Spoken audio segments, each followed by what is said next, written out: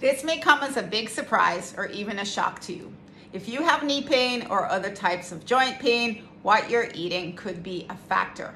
Now, don't take my word for it. Many, numerous studies confirm that what you're eating could be making your joint pain worse.